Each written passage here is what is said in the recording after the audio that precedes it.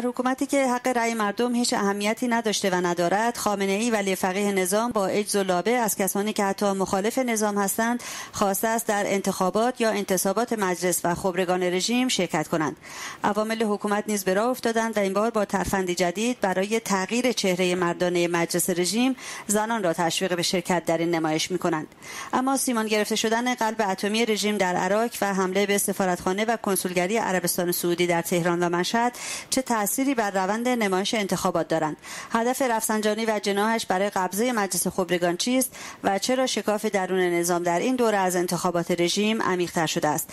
برای پرداختن به این سوالات در خدمت آقای مهداد هرسینی هستم سخنگوی بنیاد توسعه و دموکراسی در خاورمیانه سلام می‌کنم خدمتتون آقای مهداد هرسینی متشکرم که دعوت به این گفتگو رو قبول کردید و بار دیگه وقتتون رو به رادیو ایراوا دادید. خیلی خوش آمدید آقای هرسینی با سلام و عرض ادب خدمت شما خانم قفاری گرامی و شنوندگان خوب رادیو ایراوا و همچنین یاران و اعضای خانواده بزرگ مقاومت در هر کجا که صدای ما رو میشنوند. اجازه می‌خوام از این فرصت استفاده کنم. 21 کمین سال روز تاسیس رادیو شما رو رادیو ایراوا رو خدمت شما دستن در کاران رادیو تبریک ارز کنم. از زحمات شما برای رسوندن صدای مردم ایران برای رسیدن به تحقق و آزادی در ایران و کار ارزشمندی رو که در برنامه سازی در پیش گرفتیم واقعا سپاسگزار هستم و از طرف بنیاد توسعه و دموکراسی در خاور میانه به خدمت شما هستم خانم می‌کنم. شما لطف دارین آقای حسینی. ممنونم از لطفتون. آقای حسینی امروز در رابطه با انتخابات یا انتصابات رژیم که در راه هست می‌خوایم صحبت بکنیم. چند روز پیش خامنه ای اشاره کرده بود به اینکه هر کس با نظام هم مخالف است بیاد و رأی بده. اشکالی نداره. سوال اولم این است که چرا رأی دادن در نظامی که کمتر اهمیتی به رأی مردم نداره مهم هست و هدف و منظور خامنه ای از این حرف چیه که هر کس که با نظام مخالفه بیاد و رأی بده؟ بله خانم غفاری گرامی تو این سخنان و خواسته های دیکتاتور به نظر من یک پارادوکس نهفته است که به واقع حکایت همون مسئله قدیمی خانه نشینی بیبی بی از بیچادری رو داره. یعنی با این جملات خامنه ای به خوبی نشون داده که چقدر چنته رژیم در کلیتش و به طور خاص شخص خودش در زمینه مشروعیت مردمی و استقبال از نمایشی به نام انتخابات تو خالی هستش. خامنه ای به خوبی می‌دونه که تنفر مردم از شخص اون و رژیم آخوندی بدون اقراق اگه گفته باشم بینهایته. بعد از این همه سرکوب بعد از این همه بگیر و ببند و اعدام و راه انداختن تورهای اختناق جنگ ترور بلوا به یقین مردم ایران به دلخواه در چنین بازی های شرکت نمی کنند منظورم از به دلخواه بیان این نکته است که بسیاری به اجبار پای صندوق های رأی و از پیش دستچین شده و آماده شده میرن و تنها مصرف سیاهی لشکر رو دارن. مثلا فرض فرم کارمندای دولت هستن کارگران هستن کارگران بخش های خدمات وابسته به حکومت نیروهای سرکوبگر رژیم ایزن خانواده های اونها نونخورایی هستن و عده‌ای هستن که نیازمندن که دفترچه هاشون یا ارزم به شما شناسنامه هاشون حتما باید مهر بخوره. خلاصه هر کسی که شرکت می‌کنه منطقا برای نیستش که دلش با این رژیم باشه و دلش با این چون نمایشاتی باشه بلکه بسیاری به اجبار به پای این صندوق ها کشیده میشن. برای مثال نیازمند دریافت مهر شرکت در انتخابات هستند. من روز گذشته تو شبکه های اجتماعی یک پرسشنامه دیدم از یکی از بانک های حکومتی که برای نمونه شرط استخدام رو همون مهر شرکت در انتخابات نمایشی رژیم اعلام کرده بود. یکی از شروطش البته.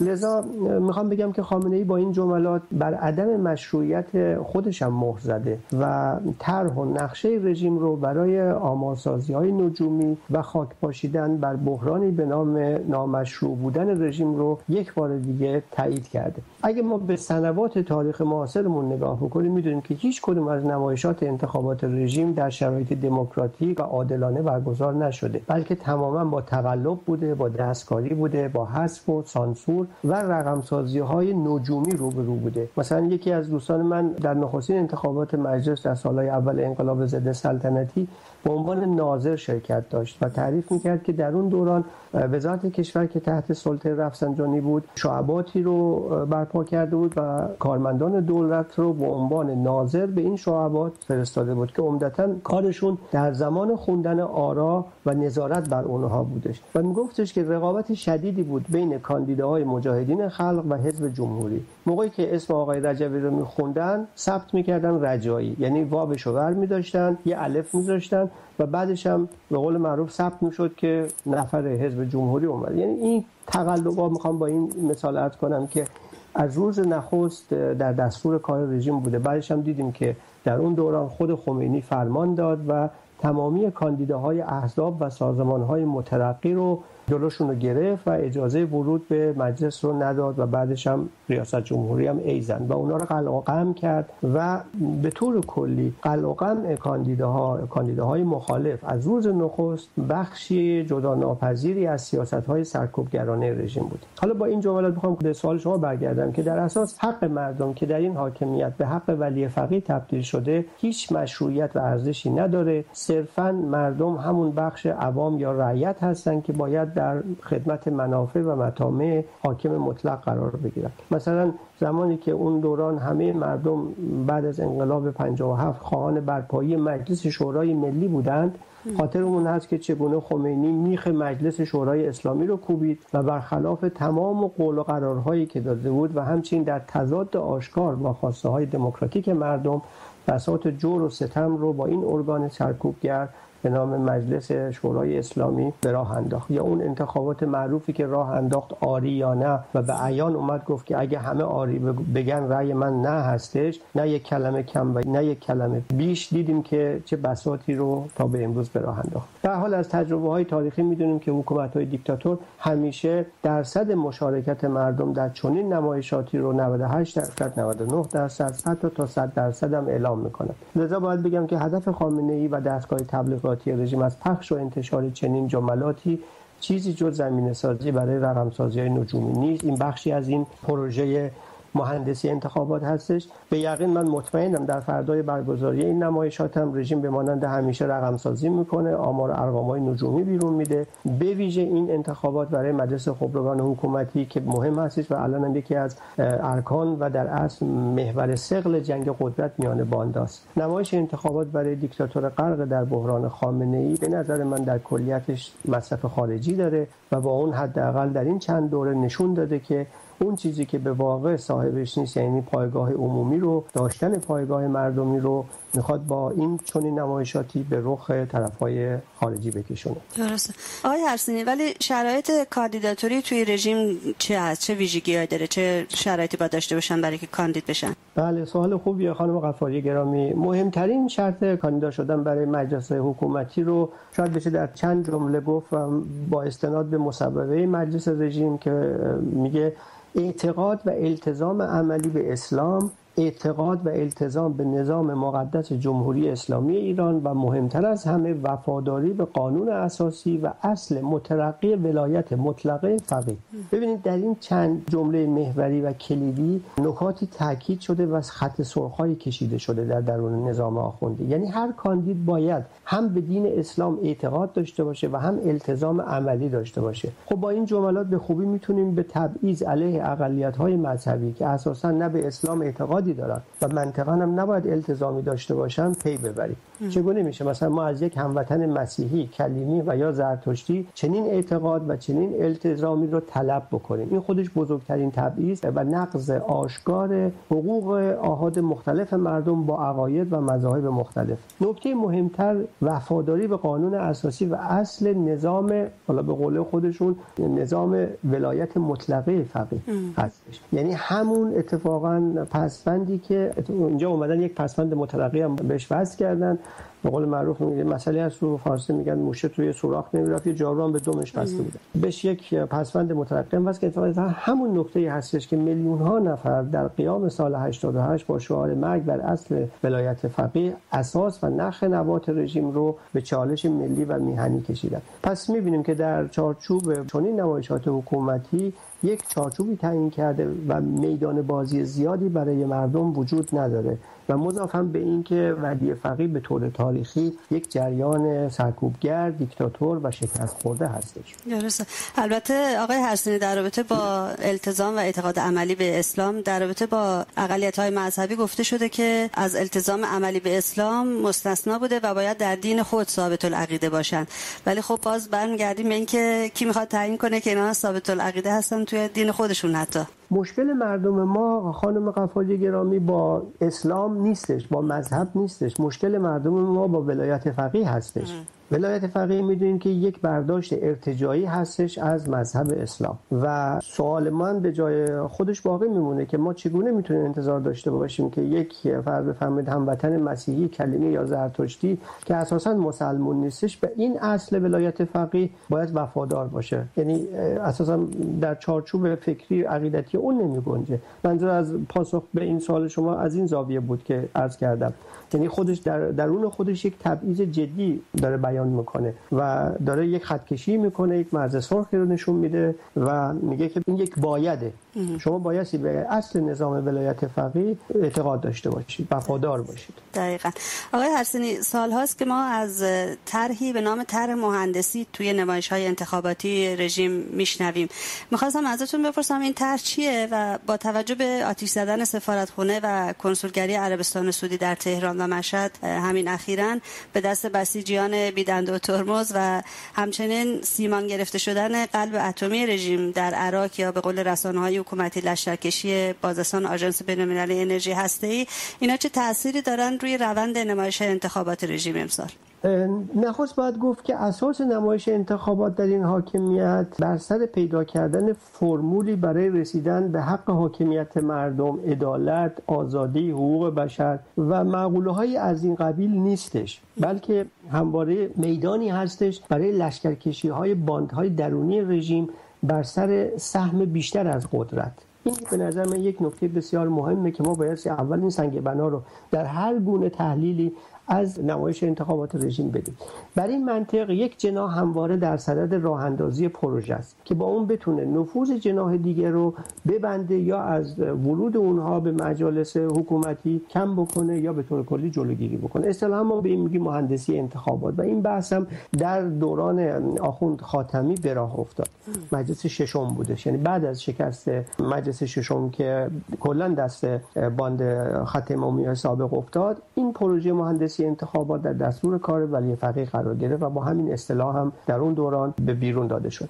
الان هم سر این مهندسی انتخابات خود شخص ولی فقیه هستش. ما اگه نگاهی به روند مجموعه نمایش انتخابات رژیم بیاندازیم می‌بینیم که برای مثال در مجلس اول تماما دست خط امامیا بودن و یه تعداد خیلی محدودی ملی مذهبی بودن. مجلس دوم یه ترکیبی شد از معتلفه و خط امام یعنی تضاد در اون زمان بین موسوی نخست وزیر خمینی و خامنه ای رئیس جمهور وقت بودش مجلس سوم با همون روند مجلس دوم بود. البته در این دوران حزب جمهوری تعطیل شد. شعار جنگ جنگ تا پیروزی در از شعار محوری هر دو باند بود. یک جامعه روحانیت بود یکی هم مجمع روحانیون مبارز بود که در اون دوران در اون دوران پدیدار شده تو این مجلس بود که آقای منتظری رو عزل کردند و نهضت آزادی رو رژیم ممنوع کرد. کمپلت ممنوع کرد. و بدین سال راهو برای خودی های خود رژیم باز گذاشت. در مجلس چهارم که بعد از مرگ خمینی بود دوران خامنه ای شروع شد و با به روی کار اومدن اون دستور حذف باند خط امام در پروژه رژیم قرار گرفت. دوره دوم ریاست جمهوری رفسنجانی بود که اختلاف میان رفسنجانی و خامنه ای شروع شد و اون برنامه اصلاحات قلابی که رفسنجانی شروع کرده بود متوقف شد. تو مجلس پنجم یه جماعتی به وجود اومد از همین خط امامیا به نام کارگزاران که اینا آمدن علیه خامنه قد علم کردن و یک ائتلافی تشکیل دادن که از توی این ائتلاف آخوند خاتمی به عنوان رئیس جمهور سر در آورد. اگه خاطرتون باشه قتل‌های زنجیره‌ای علیه نویسندگان و روشنفکران و منتقدین توی همین دوران به وقوع پیوست. در مجلس ششم خط امامیا اومدن و اسم خودشون گذاشتن دوی خوردادی و فشار آوردن و تونستن در مجلس ششم بیشترین کرسی ها رو به خودشون اختصاص بدن و خامنه ای مجبور شد که به این دوی خوردادی ها تن بده. تو مجلس هفتم رژیم با دو بحران روبرو شد. یکی بحران افزایش بهای شدید نفت بود و دیگری بحران اتمی بود. این مجلس کلا در اختیار ولی فقیه بود. بعد از شکست مجلس ششم مجلس هفتم خامنه ای اومد و هم که عرض می‌کنم طرح مهندسی از این مجلس شروع شد. و در رأس اونم اومد داماد خودش یعنی حداد عادل رو گذاشت. و در این دوره بود که خامنه ای تونست از خلایی که به وجود اومده توی این مجلس و تعادلی که به هم خورده به نفع قانونی کردن نیروی اوباش بسیجی و نیروی ضد مردمی بسیجی پیش ببره و این طرحو در اونجا به کرسی بشونه و بعدش هم ریاست جمهوری رو از دو خردادیا گرفت و احمدی نژاد سر کار آورد. در اینجا بود که اگه خاطرتون باشه جنگ بین رفسنجانی و خامنه ای بالا گرفت که به اوج خودش رسید تا مجلس هشتم. که مجلس هشتم اومدن یک جریانی رو تعریف کردن به نام اصولگرایان. لاریجانی شد رئیس مجلس احمدی نژاد دوباره شد رئیس جمهور دور دوم ریاست جمهوری رو عرض می‌کنم. بله. اینجا دیگه کار به درگیری کشید. شکاف عمیقی در رأس حاکمیت به وجود اومد. اگه خاطرتون باشه همون سال 88 بود که شکاف عمیق بود در بالا. مردم تونستن از این شکاف در پایین به خوبی استفاده بکنن به خیابانها ریختن و با شعار رأی منکو شروع شد و آخرش هم به مرگ بر اصل ولایت فقیه تمام شد که در اصل در این نقطه بود که مردم با جنبش سرنگون طلب و مقاومت ایران به لحاظ عینی و ذهنی چپ شده بودند. البته به این جنبش خیانت شد. این جنبش سرکوب خونینی شد کهریزک رو انداختن شکنجه رو انداختن قتل های زنجیره‌ای رو انداختن. شکار مخالفان و دگراندیشان بودش و نهایتا در پروسه این مجلس بود که شکاف بین احمدی نژاد و خامنه ای هم بالا گرفت. اگه خاطرتون باشه احمدی نژاد 11 روز قهر کرد و عملا برای خامنه ای شاخ و شونه کشید. تو مجلس آخرم که همین مجلس نهم باشه دو دسته شدن یه دسته شدن جبهه متحد اصولگرایان که به خامنه ای وصل بودن و یک دسته هم شدن جبهه پایداری که به احمدی نژاد و جریان سومی هم به نام باندای خط امامی بودن. ائتلافی از باندای خط امامی رفسنجانی و آخوند خاتمی به نام جبهه مردم سالاری در شکل. الان که ما چند هفته دیگه شاهد نمایش انتخابات مجلس دهم هستیم. یعنی اگر شما به این روندی که خیلی اجمالی خدمتون عرض کردم توجه بکنید همواره یک جنگی قدرتی بوده بین باندهای خط امامی و جناح خامنه ای به ویژه بعد از مرگ خمینی. این بحث مهندسی انتخابات باید گفت که با نگاهی به مجموعه تمام نمایشات انتخاباتی در درون رژیم بحث واقعی بوده.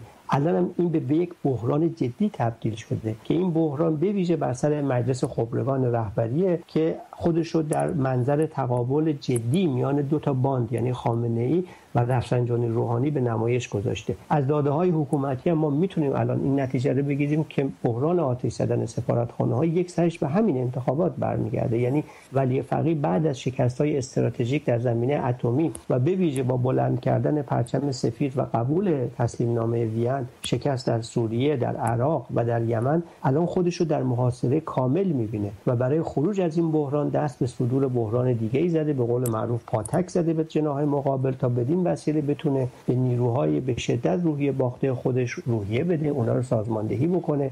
و اینها رو حالا لباس شخصی ها هستن بسیجی ها هستن اطلاعاتی ها هستن انصار حزب الله هست و چون نیروهایی رو سازماندهی بکنه و بتونه روی اینها پروژهش رو به پیش ببره و انتخابات رو به نفع خودش رقم بزنه. اگر خیلی کوتاه خواسته باشم خدمتتون عرض کنم این مهمترین نکات این بحث مهندسی انتخابات هست. درسته. ولی آقای هرسینی دلیل این عمیق‌تر شدن شکاف در درون نظام در رابطه با این انتخابات هم مجلس و هم خبرگان رژیم چی هست؟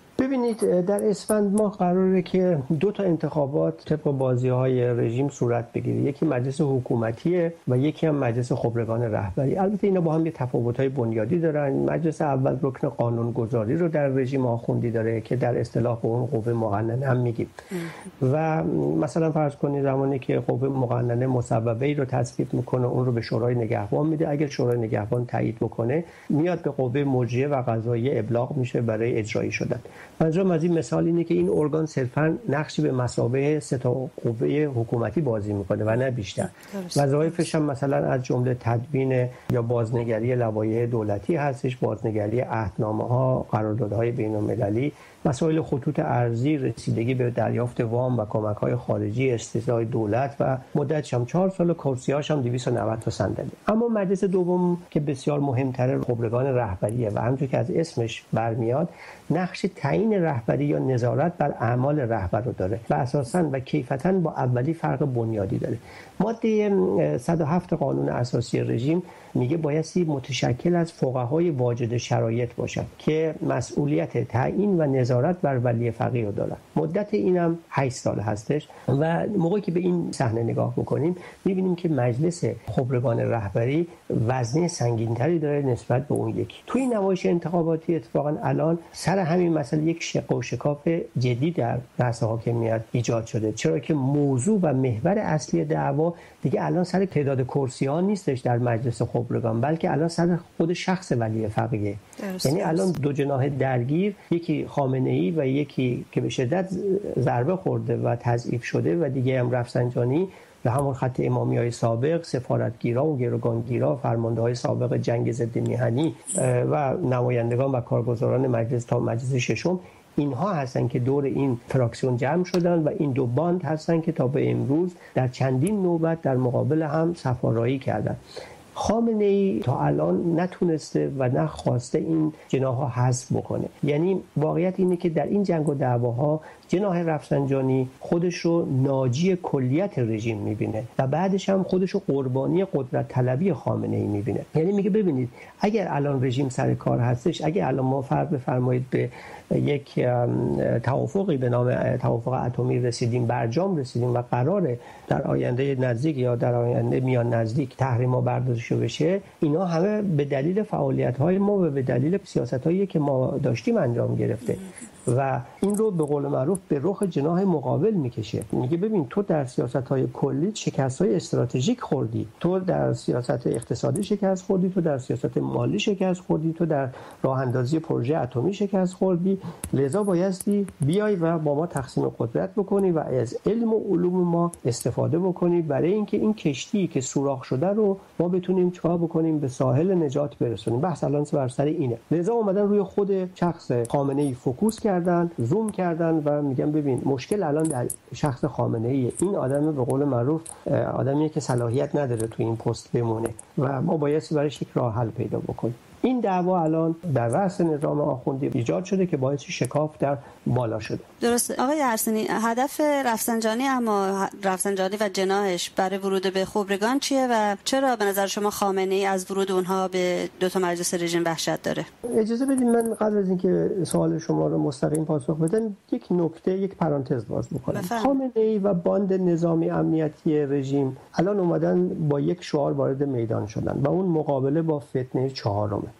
و همونجور که عرض کردم دست به یک مهندسی گسترده زدن. جناح مقابل در حیبت رفسنجانی که همون ملیجک خمینی بوده در دوران جنگ ضد میهنی اینا اومدن برای گرفتن مجلس خبرگان به ویژه خبرگان یک اولویت قائل شدن. طرح اصلی رفسنجانی در وهله نخست به روی ورود هرچه بیشتر نفرات خودش به خبرگان رهبری متمرکز شد. یعنی با ورود اون به صحنه به یقین من فکر می‌کنم بحران در رأس رهبری نظام آخوندی به شدت ضریب بخوره و تعادل در درون رژیم بویژه توی خبرگان رهبری به هم بخوره. بویژه اینکه رفسنجانی از تمامی اهرم های ممکن خودش تا به امروز بویژه مثلا فرض مثل حسن خمینی استفاده کرده از اون حتی علامه ساخته و اون رو در مقابل کلا بیت خمینی رو در مقابل خامنه ای قرار داده. در پاسخ به سوال شما باید بگم که علائم و شواهد تماما سخن از این دارن که هر دو طرف. یعنی هم ولی فقیه و هم رفسنجانی مصمم هستن که صندلی های این ارگان رو هرچی بیشتر تحت کنترل خودشون در بیارن. با یک تفاوت. و اون اینه که خامنه ای از امکانات گسترده ای برخورداره مثل شورای نگهبان مثل قوه قضاییه نیروی انتظامی وزارت اطلاعات سپاه رادیو تلویزیون و همچنین اوباشی به نام بسیج سرکوبگر که طرف مقابل اتفاقا از چنین ارگانهایی دستش خالی هستش. بزرگترین اهرام خامنه ای همون شورای نگهبانه که حکم فیلتر رو داره. این رابطه الان اومدن یک سری شرایط رو از پیش اعلام کردن. برای مثال گفتن کاندیداهای مجلس خبرگان رهبری علاوه بر تمامی اون نکاتی که خدمتتون عرض کردم باید امتحان اجتهادم بذارن یعنی با این اهرام الان شورای نگهبان می‌تونه بیاد ادعا کنه که چون کاندیداها درجه اجتهاد ندارن و یا در امتحان اجتهادی قبول نشدن اینا رو فعلی از میدون به در بکنه. یک مشکل اساسی الان پیدا کردن سر حسن خمینی. رفسنجانی اون رو جلو انداخته ولی با یک فرقه. و اون فرق اینه که حسن خمینی اصلا وارد این بازی تا حالا نشده و نمی‌خواد وارد بازی امتحان اجتهاد بشه. اگه خاطرتون باشه طی هفته گذشته حتی دعوتش کرده بودن و این نرفته بوده و یک دهنی بود به خلاصه این جماعت شورای نگهبان رژیم. و حاضر نشده که در امتحان شرکت کنه چون برای خودش یه حق ویژه قائله بالاخره میگه ببین من از بیت خمینی اومدم و اگه قرار باشه اجتهادی هم باشه اجتهاد من بازی بنویسم به دستم بدن. احتیاجی نیست که من بخوام امتحان بدم. یک بله. به هر حال رفسنجانی الان حتی برای تایید مثلا یک همچین مسئله رفته قم و با مکارم با صافی با وحید خراسانی شعبهی زنجانی موسوی اردبیلی اینا آخوندهای دانه درشتی هستن که همگی در مقابل خامنه ای سفارایی کردن. با اینا به بحث و گفتگو نشسته. اتفاقا همین بحث اجتهاد مطرح کرده که چه لزومی داره که نوه خمینی بیاد و در بحث اجتهاد شرکت چون برای رفسنجانی بسیار مهمه که حتما حتما حسن خمینی رو کنار خودش در مجلس خبرگان داشته باشه و با این بتونه یک فراکسیون بزرگتری رو علیه خامنه ای شکل بده. فراکسیون رفسنجانی هم بر اساس گفته هایی که تا الان بیرون اومده و اطلاعاتی که بیرون اومده بر محور شورای رهبری خواهد چرخید. یا مثلا فرض بفرمایید ترکیبی از یک فرد و شورای رهبری. یک همچین ترکیبی رو رفسنجانی دنبال می‌کنه و در مقابلش هم ارزم بزرگ شما خامنه ای رو به چالش کشیده اتفاقا بر سر همین بحث شخص ولی فرد در رابطه با مجلس حکومتی مسئله فرق می‌کنه. مثلا فرض بفرمایید سر این مجلس حکومتی نهایتا باید دولت قرار بگیره چون مشکل روحانی تضادی که با مجلس داره. مجلس الان جزو تویول خامنه ای هستش و قوانین رو که دولت تصویب می‌کنه اینا میره تو مجلس و بلوکه میشه. الان مثلا فرض کنید سر سیاست های اقتصادی سر سیاست های اجتماعی سر سیاست های فرهنگی اینا با هم واقعا به یک تضادایی رسیدن سر سیاست های مالی واقعا به جنگ رسیدن. شخص آخوند روحانی ادعای رهبری نظام رو نداره برخلاف رفسنجانی. لذا تمرکز کرده بر بحث مجلس حکومتی و هرچی بیشتر وارد کردن نفرات به داخل این مجلس. این تفاوت هایی هست که در رابطه با سوالتون می‌تونم خدمتتون عرض کنم درسته. آقای حسینی حتما شما هم تبلیغات دیدید از طرف برخی که مردم رو تشویق می‌کنن برای شرکت در نمایش انتخابات رژیم. برخی هم بهانه شرکت در این نمایش رو تغییر چهره مردانه مجلس تلقی می‌کنن. بله. خواستم ازتون بپرسم که آیا این به این معنی است که اگه چهره مجلس زنانه بشه تغییری توی قانون اساسی به وجود خواهد اومد؟ خانم غفاری گرامی اینم از تنزای تاریخ. واقعیت اینه که ماهیت ضد زن و زن ستیز رژیم آخوندی در کلیتش برای هیچ کس پوشیده نیست. به ویژه بر زنان و دختران میهنمون. همون ماهیتیه که از روز نخست به روی کار آمدن این دیکتاتوری خودش رو تو فشارهای مضاعف سیاسی اجتماعی ظلم و ستم و تبعیض جنسی به نمایش گذاشته. از پوشش بگیرید حجاب اجباری بگیرید تا سرکوب گسترده آزادی های فردی و شهروندی زنان تا قوانین ارتجاعی در زمینه های مختلف فرهنگی حقوق مدنی اجتماعی سیاسی و غیره. و تا این آخریش هم که اسید پاشی بودش. بله. لذا با کاندید شدن چند تا زن که اونام همه مخلص به مقام معظم رهبری هستن به یقین هیچ علامتی از تحول در تفکر بنیادین این رژیم علیه زنان میهنمون ما نمی‌بینیم. بلکه فکر می‌کنم که بیشتر اینها زمینه و فضاسازی همون مهندسی انتخاباته. یعنی ما زمانی که از مهندسی انتخابات سخن به میون میاریم تنها حذف جناح مقابل مد نظرمون نیست بلکه از یک طرح کلی صحبت می‌کنیم که بخش‌های مختلفی رو مد نظر داره یکی از همونا از اونها هم همین ایجاد فضای مصنوعی و راه انداختن هیجانات کاذب اجتماعی. اما در پاسخ به این بخش سوال شما که چهره مجلس حکومتی آیا یک روزی زنانه خواهد شد این بسیار به نظر من در تضاد با جنس و تفکر ارتجاعی آخونده هستش. اساسا رژیم آخوندی بنابر فلسفه بنیادیش چنین ظرفیت ایدئولوژیکی رو نداره که مثلا یه روزی بیاد و صحنه رو به نفع خانم ها به نفع زنان حتی زنانی که متولی خود همین رژیم هستن خالی بکنه. دستچین کردن چند تا از کارگزارای زن در درون رژیم برای شرکت تو این نمایشات همونطور که عرض کردم صرفا نمایشی هستش. با توجه به اینکه در مجلس خبرگان که اصل اجتهاد الان مطرح هستش اصولا معقولش معقوله مرد سالاری آخونده و پیش بردن این قضیه و مشتهد کردن زنان تو این قضیه بسیار بسیار ضعیف هستش. چون تفکر آخوندی اصولا اجتهاد رو معقوله صرفا مردونه می‌بینه. و تا امروز من نه دیدم و نه که آخوندهای دان درشت حکومتی تو حوزه علمی یا حوزه های دیگه اجازه بدن زنان وارد این هیته بشن. در رابطه مجلس حکومتی مقدار فرق می‌کنه. به نظرم چند تا از کارگزاران زن در رژیم آخوندی رو که الان چند دوره هم اجازه ورود پیدا کردن در سطوح پایین میارن. تو فراکسیون ها یک پوزیسیون های بسیار بسیار نمایشی بهشون خواهند داد. دقیقا. و بعضی ها رو هم که کمی جرأت دارن و اعتراضات سطحی می‌کنن رو هم سریع از دور خارج می‌کنن آقای هرسینی کاملا درسته خانم خب آقای هرسینی برسیم به نتیجه. به نظر شما نتیجه این دوره از انتخابات چگونه است؟ شما اینو چگونه ارزیابی می‌کنید بله خانم غفاری پیش بینی نمایش انتخاباتی مقدار سخته چرا بله. که خانه های هر دو طرف الان در حال شلیک هستند هنوز فضا به قول معروف فضای جنگیه و تصور من بر اینه که ولی فقی به دلیل نیاز شدیدی که به جناح مقابل داره نمی‌تونه اونا رو فعلی و به طور کامل از صحنه حذف بکنه. ببینید این جناح رفسنجانی به عنوان سوپاپ اطمینان همواره در درون این رژیم عمل کرد. ولی فقی به نظر من انقدر احمق نیست که با حذف کامل اونها این تنها میدون و تنها اهرم بازی خودش در سطح منطقه و بین المللی رو از دست بده. لذا بر این باور هستم که با ورود محدود این جناح موافقت خواهد کرد. سر محدودش تاکید دارم. حالا چه تعداد نفرات وارد بشن این بستگی به چک و های نهایی بین دو تا باندها و به قول معروف زور و زورکشی های اونها داره. تصورم بر اینه که رفسنجانی در خبرگان باقی خواهد موند ولی محدود و به قول عوام کاملا قیچی شده و تو سری خورده. اما اجازه بدیم تا در پایان به یک نکته کلیدی من اشاره کنم. به رغم تمام این تمهیدات و تدارکات برای از سرگذراندن کابوس انتخابات و به قول معروف دستیابی رژیم به ساحل امنیت و رژیم مرگزده آخوندی و غرق در بحران و به ویژه شخص ولی فقیه حتی با سیاست این سیاست انقباضی که پیش گرفته راه نجات به نظر من نداره. خامنه ای الان بر سر یک دوراهی قرار گرفته. یا باید تن بده به خواسته جناح مقابل و مثل نوشیدن زهر اتمی جامعه های زهر بعدی به ویژه شق و شکاف رو به جونش بخره و یا همچنان بر سیاست بیدنده و ترمز پافشاری کنه. یقین هر دوی این حالت خامنه ای بازنده خواهد بود و به نظر من مردم و مقاومت ایران شورای ملی مقاومت و مجاهدین خلق پیروز خواهند بود تو این صحنه. اون چی که به مردم برمیگرده مردم ایران رأی خودشون رو سالهای پیش با قیام